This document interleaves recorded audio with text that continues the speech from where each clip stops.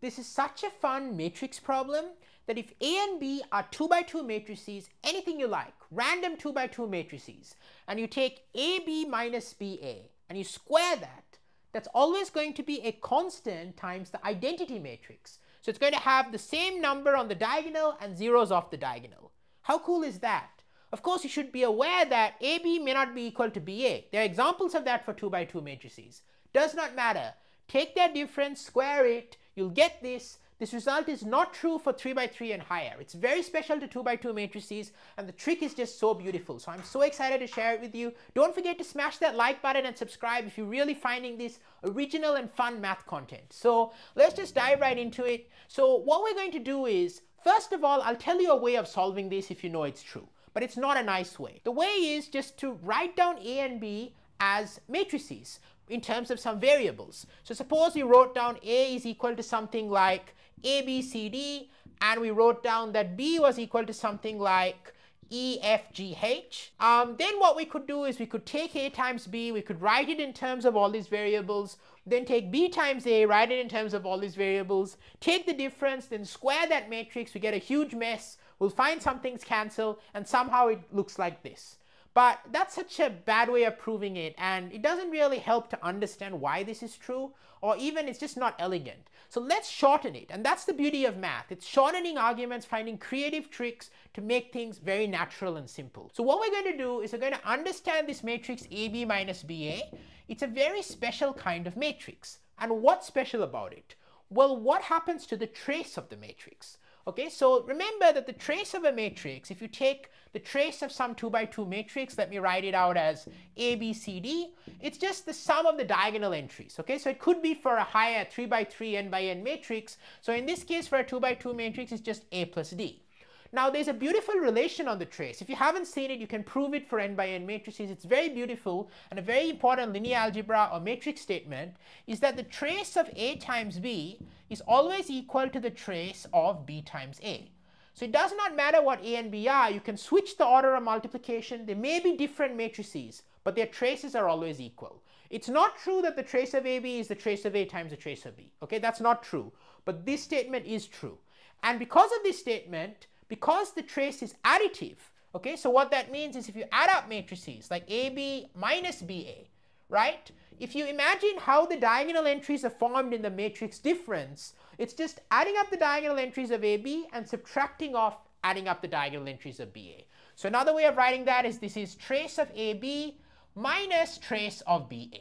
And because of what I just said, this is going to equal to zero because the trace of AB and the trace of BA are equal. It's a general statement for n by n matrices. Why is this special? Because we're going to get a deep understanding of AB minus BA.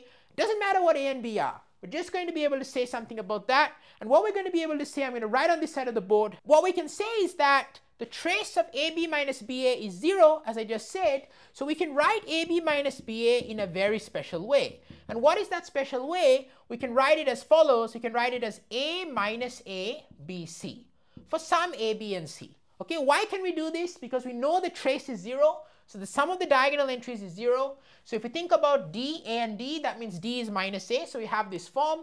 And now let's square this matrix. And this is going to be a lot easier, okay? Because we only have three variables, not eight variables, not a huge mess. We can just take A, B, C minus A and multiply it with itself, A, B, C minus A. And look what's going to happen, okay? This is going to be mind-blowing. We're going to get A squared plus BC. Okay, it's matrix multiplication, A squared plus BC, then AB minus BA right? AB minus BA. Then we're going to get CA minus AC. So we're going to get CA minus AC. And finally, so we're going to get CB plus A squared because minus A times minus A is plus A squared. Okay, so we're going to get CB plus A squared. And just look at this. Okay, this is just so nice. I'm just going to write it there. So what's so nice about this is a squared plus bc, a squared plus bc is the same. So therefore, ab minus ba squared is just going to equal to the following. It's going to equal to a squared plus bc, 0, 0, a squared plus bc. Hence, it is a scalar multiple of the identity matrix. Another way of stating this exercise very beautiful. I saw it in Herstein's topics in algebra. Is that if a and b are linear transformations from a two-dimensional vector space to itself, then ab minus ba is always squared is always going to be commuting with every other linear transformation. So the matrices that commute with everything are just the diagonal matrices where both entries on the diagonal are the same the scalar multiples of the identity. So there you have it. How cool is this exercise? And I want you to drop a comment. This is false if you have 3 by 3 matrices. It's not always going to be that AB minus BA squared is a scalar multiple of the identity. Can you drop a comment and tell me what you know example there is? And do you have other alternative approaches for solving this? I'd love to hear it. Huge thank you so much to Stefan for Ruby support and Alex and Nathan for gold support on Patreon. Makes a world of difference. And thanks so much to the YouTube channel members, Enehota, Aman, Rob, and Shabid for their ongoing support. It also makes a world of difference. There are exclusive perks on either platform as my way of saying thank you. And it really helps because right now I run everything on the channel on my own. And with these contributions, I can start helping to outsource some of the work to really free up my time because I spend pretty much all of my free time, a lot of my free time on YouTube, honestly. So, and I love doing it, but a little bit of support, even even small amounts really adds up. So thank you so much for your consideration. And I've got two fun videos for you. The first video, you're really gonna love this. It's an intro to abstract algebra. You know, this kind of math. If you wanna learn group theory, but you just want to intuitively feel for it, check out the video. It's going to pop up on the screen here. It's a new arithmetic operation. It's actually a group but I'll walk you through everything can be understood. It's known to people from the age of five, but they don't actually know they know it. Okay, so check that out. Okay, it's a very cool arithmetic operation. Don't forget to like and subscribe and hype the video if you want, you know, if you're really loving this channel, just hyping really helps a lot and really helps advertise this video because my goal is to create free, infinite accessible math education to help as many people as possible. With your support, you know, watching this far, liking, hyping, everything, it makes a huge difference and I'm super excited to catch you in either of these two videos.